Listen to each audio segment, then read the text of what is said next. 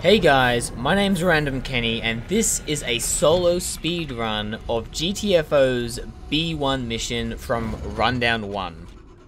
Now, the main goal of B1 is to collect 12 ID cards from uh, 7 sections, 7 zones in the game.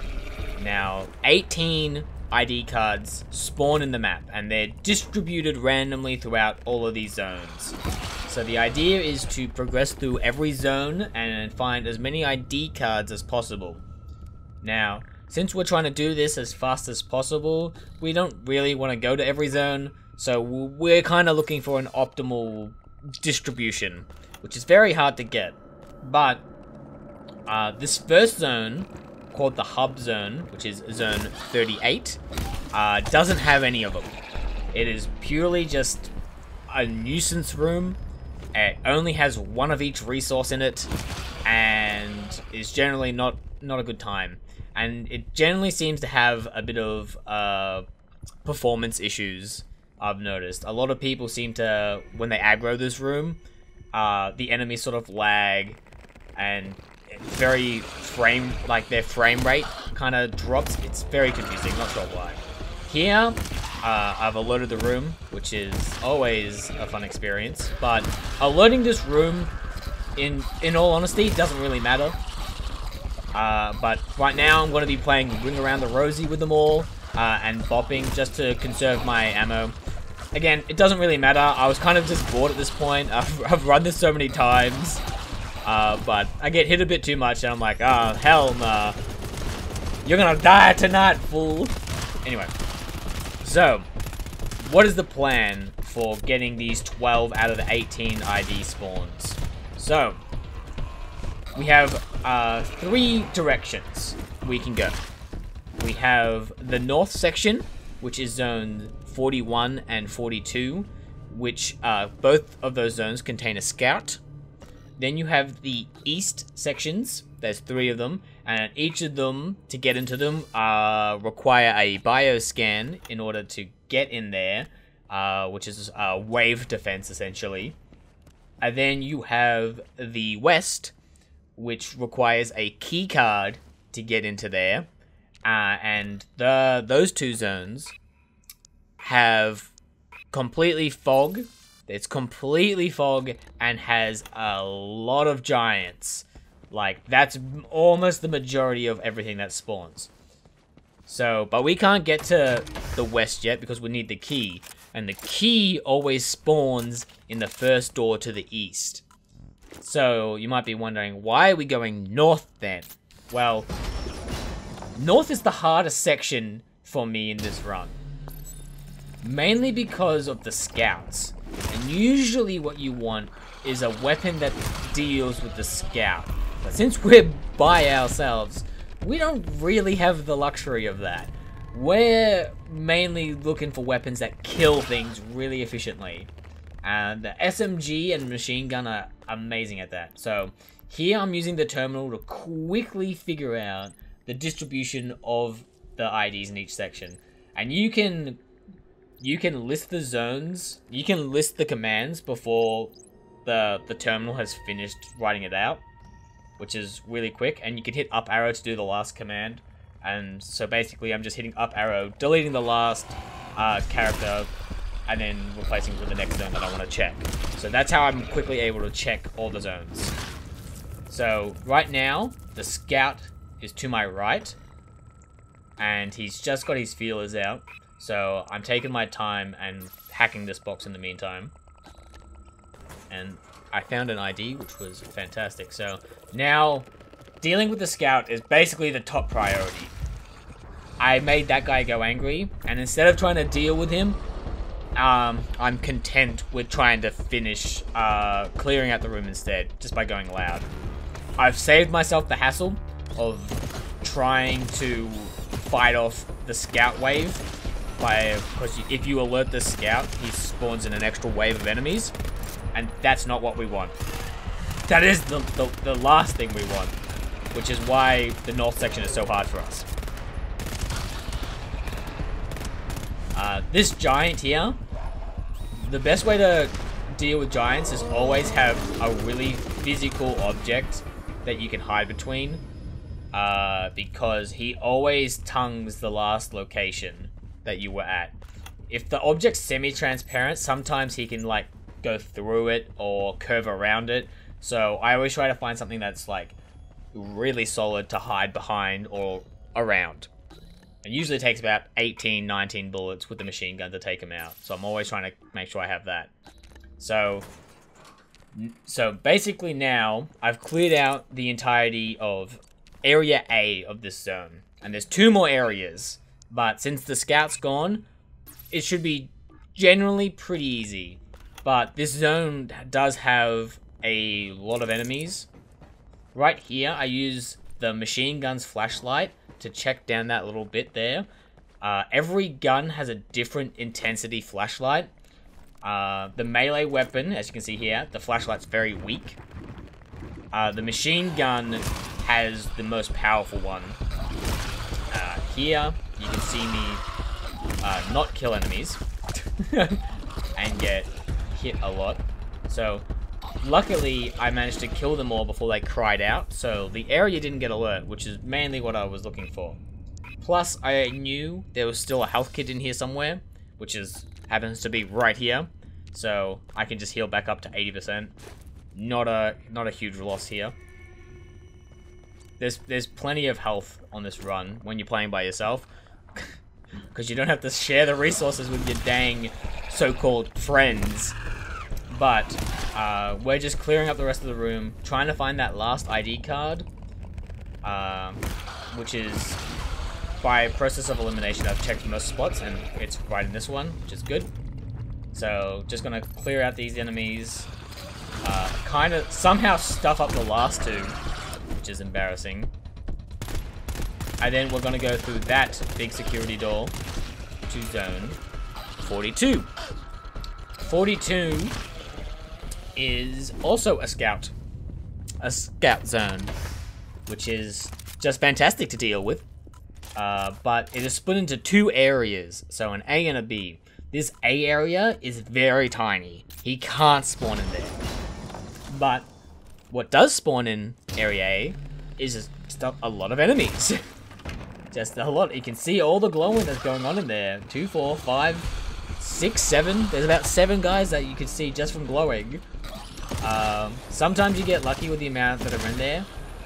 Uh, to be honest, it's probably a better thing that a lot of the enemies spawned in there. It means that the area B won't be as heavily packed. So right now, I'm like, uh, I can't be bothered dealing with this. The sentry has a lot of, it's, the sentry was almost at 100%, so I'm basically deciding to let him have a bit of a go and clean it up. Uh, I, I don't let him shoot for too long. I'm using the burst sentry because I mainly want that quick fire rate to sort of stun the enemies whilst I do things. The shotgun sentry is almost always better, but in this case I'm using burst because I just want it to shoot things really quickly. I'm not looking to kill things, essentially. I'm sort of trying to buy time. So there's the toolkit. Uh, there's one of the three IDs from this section. And in here is the uh, Medipack, which I'm gonna just gobble up. Yeah, so you can see, like, all these resources are just keeping me alive. When you have four players, the resources get spread really thin.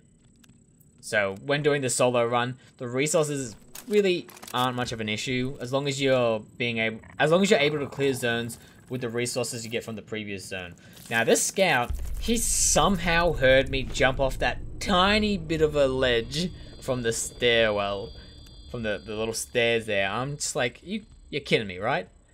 Anyway, this this scout, this scout was a little a little trigger happy. Like he goes off once, and then look, he goes off again, and I'm just like, oh come on, bruh. But he, he has a little bit of a umbrella effect that goes on when he's doing his uh, tentacles. So you can hide under there, and when he's bent down, you can easily get that headshot. So that's what luckily worked out for me then. So now this zone has a lot of giants in it as a result of the previous zone having a lot of the small guys. Um, frankly, I don't want to deal with the big guys. They're a huge pain in the ass, but uh, I'm just going through it all. So, I know there's a uh, ID and an ammo left in this zone. I kind of want the ammo, but so I got the ID. So we're we're done for IDs for this zone. I probably could have left this zone by now because, to be honest, I, the next zone we're going to, you don't really need too much ammo. But uh, getting to that zone is a whole bioscan wave, which is a lot of shooting. So I was kind of worried about that. Now, there's people find that the behavior of the sleepers can be wildly inconsistent. I'm getting pretty familiar with the tolerance of it all. So, like, they require a line of sight to get angry. As you can hear, he didn't get angry until he started getting his line of sight on me.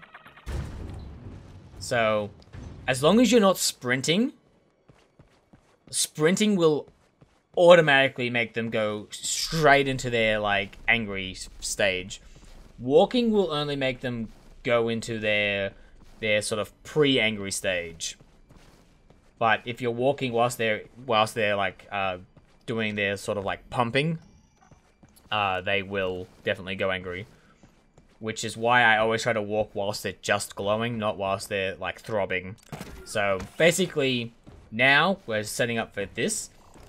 And this is a part of the reason why we went north first. The reason we go north is because when you go north first, the enemies spawn over there. And the north area is really big and it takes them a long time to get to you. Much longer than what they would do if you went straight for the, the door. When they when you go straight for the east door, they spawn at your spawn point and they get to you really quickly. And usually when I'm playing in a four-man, I would go east first because it's so much easier. Everyone just goes on one bioscan, it's done. But when you're by yourself, it's a different story. So there's a there's a lot of different uh, tactics you use when doing solo versus doing four-man. So now we're just doing the, the cleanup. You'll notice I slide a lot you gain a slight bit of speed by sliding. It's very minuscule, it's, it's almost like not even worth it, but it's a force of habit now for me. So, uh, if, if you hadn't known, there's a way to tell the difference between a naturally spawned enemy, that is an enemy that spawns in a zone, and one that gets spawned during a bioscan alarm or a uh, scout alarm and that is the, the skin tone of the enemy. You can see here that the enemies are really dark. That means they got spawned in during a, an alarm. If the, the skin tone is like a really white pale sort of color, which you'll see uh, when I open this door, that means they're a naturally spawned uh, enemy. So you can see, like, look how white these pasty boys are boys and girls. So here, I didn't kill that guy, and as a result, he got angry and, and told all his friends. So at this stage, I'm just like, okay, whatever. I don't need my sentry too much because the plan for the last zone is to kind of do it stealthily. But I got unfortunate here in the fact that there's three areas for this zone and all the enemies spawned in the first one. So I had to I had to deal with every enemy in that zone. But uh, it could have been a good thing because I managed to deal with all the enemies quickly and I didn't have to haphazardly sort of wander around. So here you can see I'm using uh, the machine gun flashlight since it's the most powerful one in my kit. And now I'm just going through everything and trying to find the three ID cards in the section. And we have to find that key card that I mentioned earlier, the one that will lead us into the west zone. So going through here, uh, I think I said before that most of the IDs spawn in unlocked containers, but they can spawn in locked ones. The key, however, the key always spawns in a locked container.